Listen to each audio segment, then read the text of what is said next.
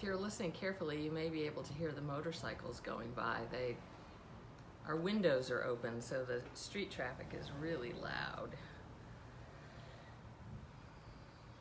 Well, I think I'm going to go ahead and go. I know that the tower bell will ring shortly. I want to welcome everyone to live stream worship at St. James Episcopal Church in Skaneateles, New York. We are gathering with people on both Facebook and Zoom, and I have an assistant tonight who will be doing the readings. And if anyone would like to help with leading worship, uh, you can join us on, you can let me know any week, and I will send you a bulletin and uh, give you readings or prayers or something like that. My, did I already say my assistant tonight is Marie Hughes? There is a bulletin for this on stjamesscan.org, our website, and there is also, I will give you the page numbers for the prayer book. If you happen to have a prayer book at home, um, you can actually use that. So we begin this evening on page 115 of the Book of Common Prayer. We are doing uh, the evening prayer worship service.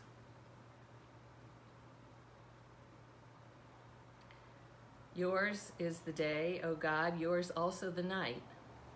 You established the moon and the sun. You fixed all the boundaries of the earth. You made both summer and winter. I will bless the Lord who gives me counsel. My heart teaches me night after night.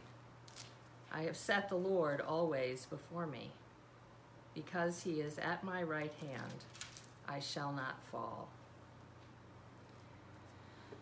Dear friends, here in the presence of Almighty God, let us with penitent and obedient hearts confess our sins, so that we may obtain forgiveness by God's infinite goodness and mercy. And I'm going to give you just a moment to think about any time in the day when you perhaps uh, felt farthest from God or recognized that you had gone off in some direction that was not uh, a positive direction for you, something that was healthy or helpful. And I would encourage you simply to offer that into God's hands, and then we will say together the confession.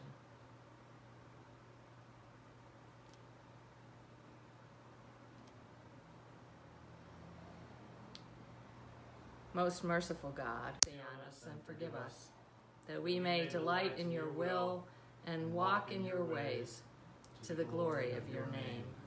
Amen. Almighty God, have mercy on us. Forgive us all our sins through our Lord Jesus Christ. Strengthen us in all goodness, and by the power of the Holy Spirit, keep us in eternal life. Amen. And if you turn now, those of you who have prayer books, turn to page 117. We will say together the invitatory. O God, make speed to save us. O Lord, make haste to help us. Glory to the Father, and to the Son, and to the Holy Spirit, as it was in the beginning, is now, and will be forever. Amen. Alleluia.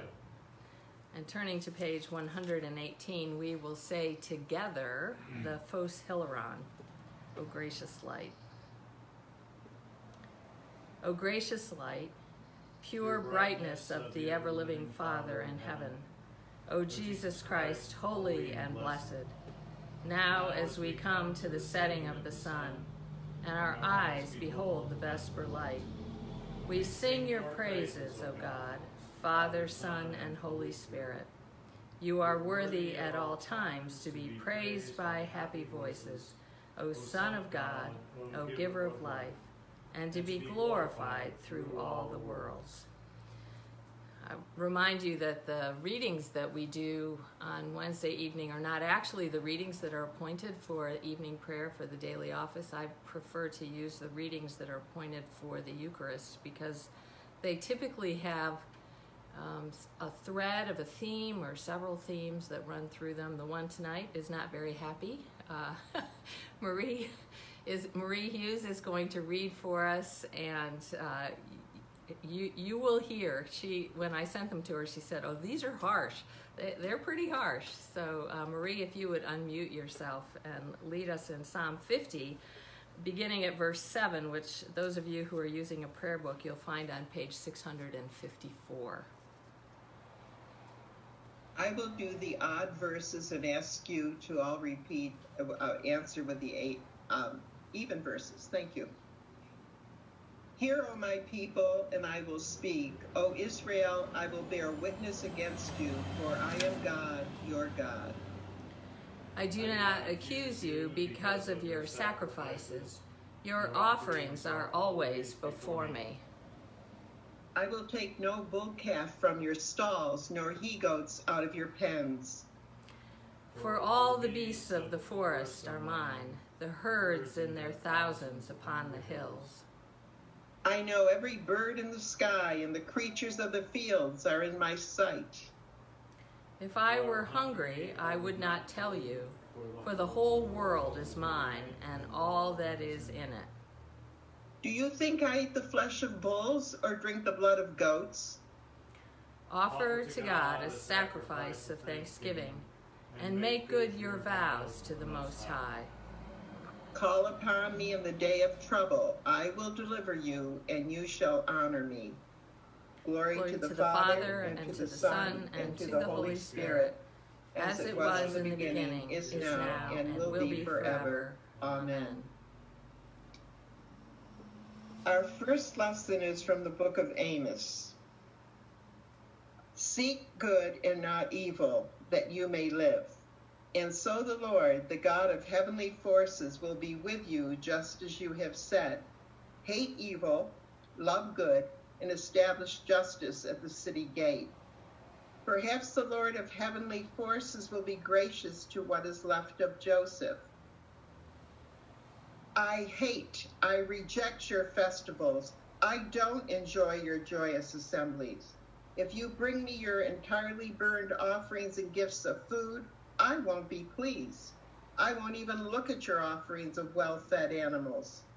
Take away the noise of your songs. I won't listen to the melody of your harps.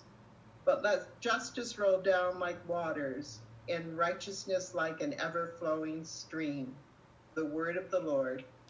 Thanks be to God. For those of you who are following in the prayer book, if you would turn to page 119, we will read together the Magnificat, the Song of Mary. My soul proclaims the greatness of the Lord.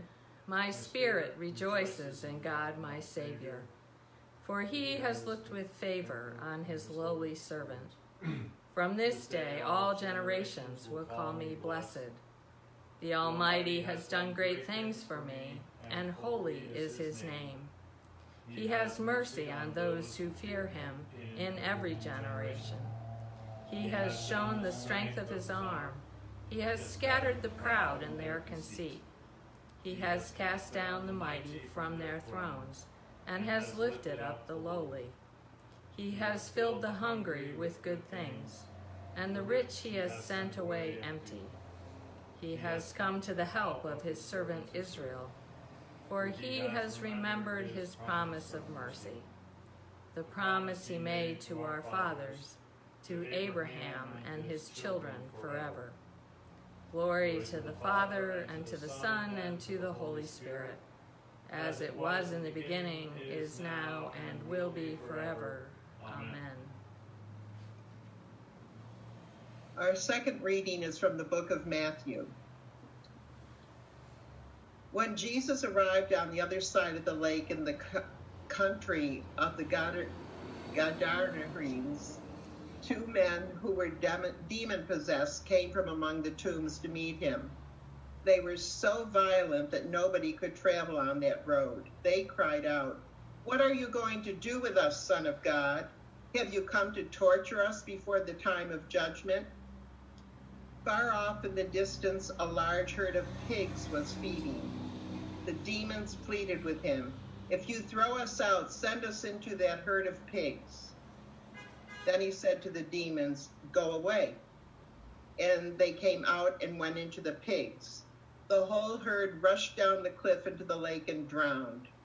Those who tended the pigs ran into the city and told everything that had happened to the demon possessed men. Then the whole city came out and met Jesus. When they saw him, they pleaded with him to leave their region. The word of the Lord. Thanks be to God.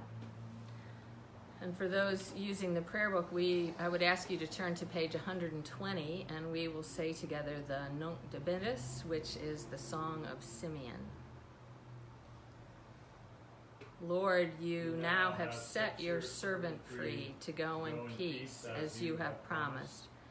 For these eyes of mine have seen the Savior, whom you have prepared for all the world to see, a light to enlighten the nations and the glory of your people Israel. Glory to the Father, and to the Son, and to the Holy Spirit, as it was in the beginning, is now, and will be forever. Amen. So we have these harsh readings. Um, the first one, which is from Psalm 50, begins with God saying, O Israel, I will bear witness against you. Uh, and then at the end of, of that, in uh, verse 14, the psalmist says, Offer to God a sacrifice of thanksgiving, which gives the impression that maybe the sacrifices that are being offered are not, in fact, somehow pleasing to God. Which is the theme that actually gets picked up in the next reading from the prophet Amos. And um, remember that the the um, the role of a prophet in history has been to speak the truth in some way that we have that we need to see something that we're not seeing that we need to see. And uh, amos says again to god's people seek good and not evil that you may live which gives the impression that maybe they've been seeking evil. Uh, but the really strong corrective that is in this small passage is um, Amos speaking for God, saying, I hate, I reject your festivals. I don't enjoy your joyous assemblies. I won't even look at your offerings. Take away the noise of your songs. And he finishes by saying, Let justice roll down like waters. And then we have this passage from the Gospel of Matthew that is a story about two demon possessed men who are so um, oppressed by whatever it is that's going on in their emotional and spiritual beings that they're violent. And they're so violent that, in fact, uh, there's a road in the area that people can't travel on. So we have two very oppressed men and in fact a community that is not free. And uh, Jesus sends the demons out of the two men into the pigs. The pigs drown, and the people come out and they rejoice that these two men are healed, and they're thankful to Jesus that uh, there's, their community is now free. Oh, no, that's not actually what happens. They don't rejoice at all. They aren't happy that their community is free they, they tell Jesus they want him to go away. So I think when we're listening to these texts to try to understand what they have to say to us, it's really important to remember that they do, each one of them does actually speak to a very specific thing that is happening in history. That there's something going on that is not right. And the psalmist, the prophet, and even Jesus are speaking about that. And speaking a word of corrective to come back to the way that is the way of God. The, the general principle that is worth our thinking about is that all through history, um, people, individuals, and communities tend to get off course. We, we, we begin maybe in a good place and then we head off in some direction and it's not right and there's a corrective that occurs and the swing comes back this way and heads off in that direction and some corrective has to happen and it comes back. And if you think about it, I mean, one really great example of that is the Reformation that took place in Europe. The, the church had gotten really way off course and was oppressing people and taking advantage of people, and even the worship of God was no longer a holy offering to the Lord. So I think it's fair to ask ourselves is there a chance that there is some way in which we are also off course and need a corrective to take place, whether it's in our church communities or whether it's in our nation as a whole. And I don't honestly think that we have to look very far to know that in fact there there are some things that need attention. There are people who are um, struggling and crying out. There are systems and laws in our land that are not functioning for the best for everyone, particularly people at the margins. Um, I think there is a there is a portion of the Christian community that would say the pandemic is God's punishment. I don't for a moment believe that. I don't think that um, that God is out to get us in the things that happen um, necessarily in history, but God will certainly allow a moment like this to be an opportunity if we'll take it and if we will use this time for reflection and for self examination and for asking the Holy Spirit, is there something here that we need to see? Is there some change that we need to make? Is there a way in which we need to speak out or to assist some um, part of our our nation or our communities to live a better life, for there to be justice, um, which is something justice and mercy are two of the characteristics that are absolutely the heart of God. I want to read to you um, a reflection by Karen Florentino that we have been, um, I'm sorry, by Arundhati Roy. We've been using it for the Friday um, discussion group that has been meeting.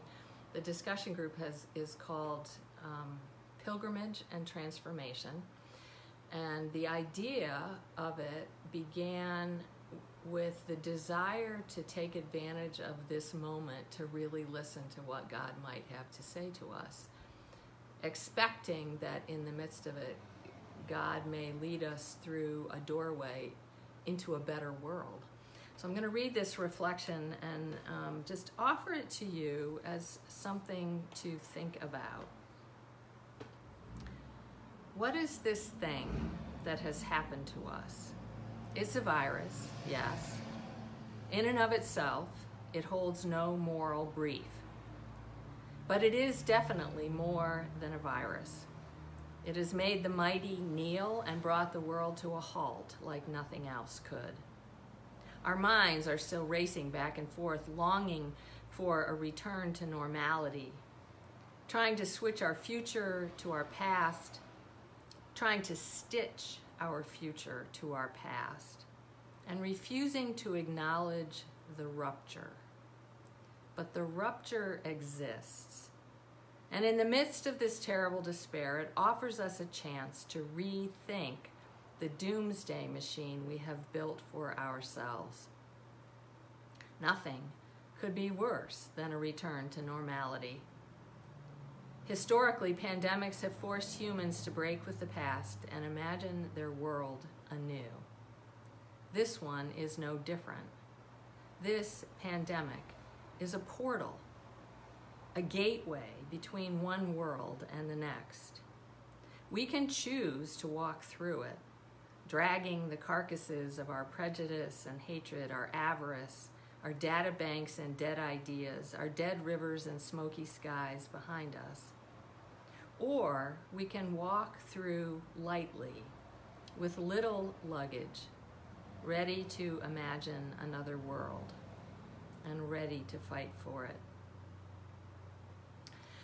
So I, I would invite all of us just to hold the present um, kind of lightly and to ask the question is there something here? Is there something in my life that maybe needs attention or adjustment or even letting go.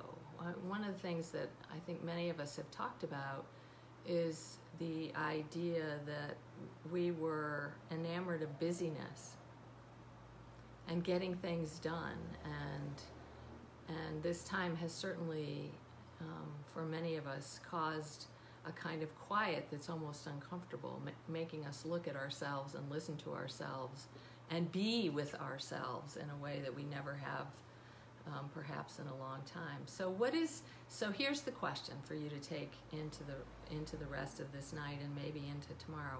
What is the gift in this? What is the opening? What might God be inviting us to consider anew and take with us into the future?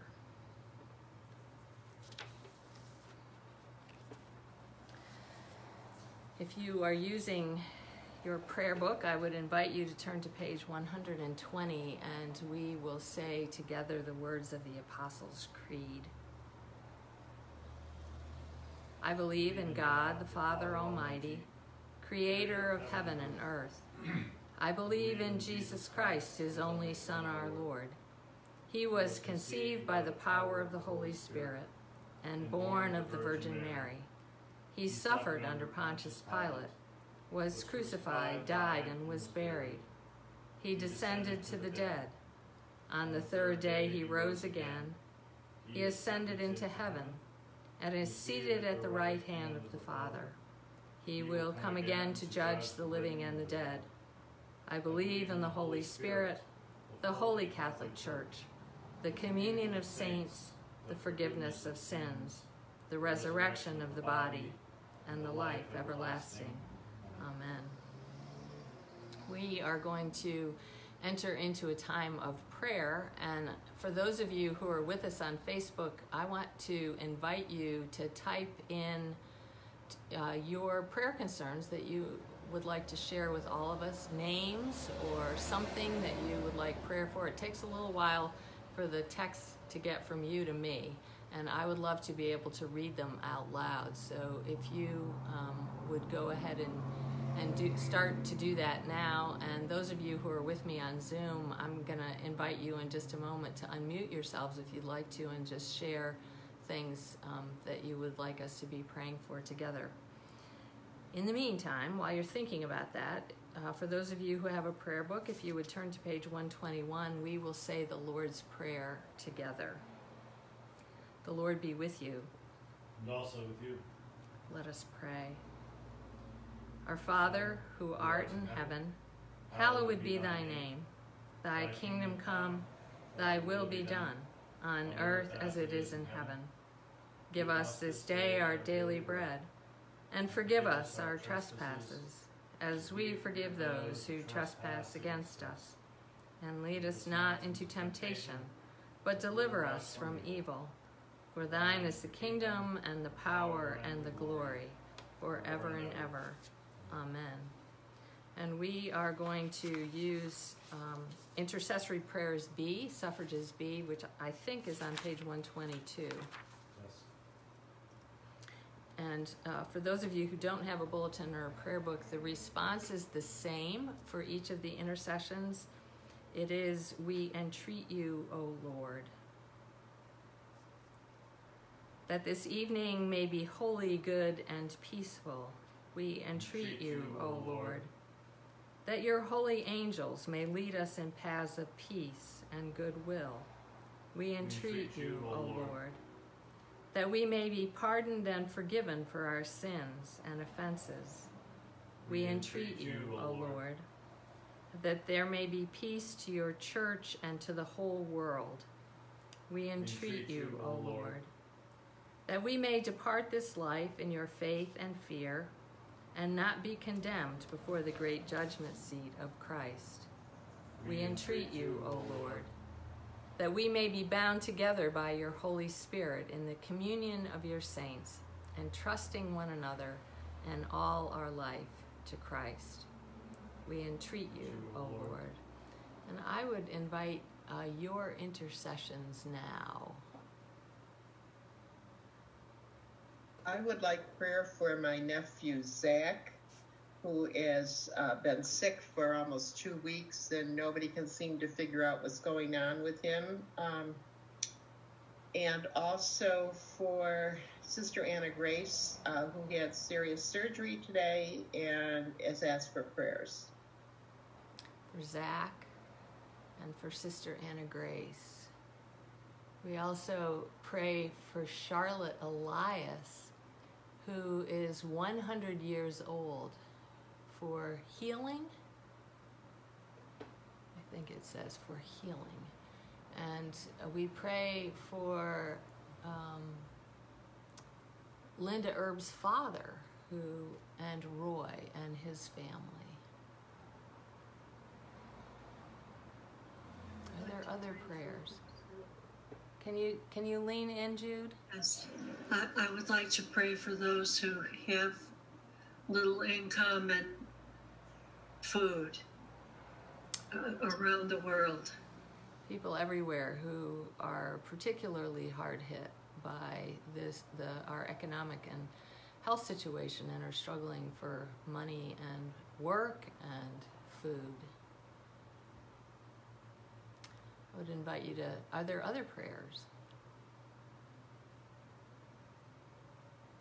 You can keep on typing those of you on Facebook, and I'm going to continue on and I'll look up every now and then and see if there's anything else. This is the prayer of the day from Sunday. Almighty God, you have built your church upon the foundation of the apostles and prophets, Jesus Christ Himself being the chief cornerstone. Grant us so to be joined together in unity of spirit by their teaching, that we may be made a holy temple acceptable to you. Through Jesus Christ our Lord, who lives and reigns with you and the Holy Spirit, one God, forever and ever. Amen. And a prayer for our nation. Grant, O God, that your holy and life giving spirit may so move every human heart and especially the hearts of the people of this land, that barriers which divide us may crumble, suspicions disappear, and hatreds cease. That our divisions being healed, may we may live in justice and peace. You, O God, have bound us together in a common life. Help us in the midst of our struggles for justice and truth to confront one another without hatred or bitterness, and to work together with mutual forbearance and respect. Through Jesus Christ our Lord. Amen. And a prayer for evening. Most holy God, the source of all good desires, all right judgments, and all just works. Give to us, your servants, that peace which the world cannot give so that our minds may be fixed on the doing of your will, and that we, being delivered from the fear of all enemies, may live in peace and quietness through the mercies of Christ Jesus, our Savior. Amen. And a prayer for mission. God of all power and love, we give thanks for your unfailing presence and the hope you provide in times of uncertainty and loss. Send your Holy Spirit to enkindle in us your holy fire. Revive us to live as Christ's body in the world, a people who pray, worship, learn, break bread, share life, heal neighbors, bear good news, seek justice, rest and grow in the Spirit. Wherever and however we gather, unite us in common prayer and send us in common mission that we and the whole creation might be restored and renewed through Jesus Christ our Lord. Amen. And before, uh, oh, Barbara Wise will be 99 on July 6th on Monday. Oh, thank you, Mary. Uh, um, two quick announcements. One is that this coming Sunday we are going to go to a summer schedule. We don't usually do that. We're, we're doing it this year because this technology that we're using has become um, kind of overwhelming and we, we need to create a little bit of space for the staff. So we will continue to live stream every Sunday and every Wednesday, just like this. Um, and actually, if you're on Zoom, it's the same uh, login and ID on Wednesday and Sunday morning at 9. So we'll be live streaming at 9. The good news is you can watch it anytime. So, whatever uh, works for you, it will be recorded and uh, you'll be able to um, see it at your convenience. And um, this coming Sunday, and we're gonna we're gonna alternate services over the course of the month. So one week it's gonna be from my living room, which happens to be this coming Sunday. One week it will be uh, two. The next series of weeks it will be in the church as we have been doing, and we'll have music and we'll alternate um, contemporary and traditional. And here's the big news: you are the first to hear it. Uh, we are clear and ready to begin outdoor worship, which we are going to do on July 12th. It's going to be very different from what we have typically done uh, other summers, and we'll be sending out a ton of information about it. And in fact, I think we are going to produce a video that will kind of explain what the what the protocol is but we are going to give it a shot and see how it goes. And um, so that's so this coming Sunday, July fifth, is at nine or whenever.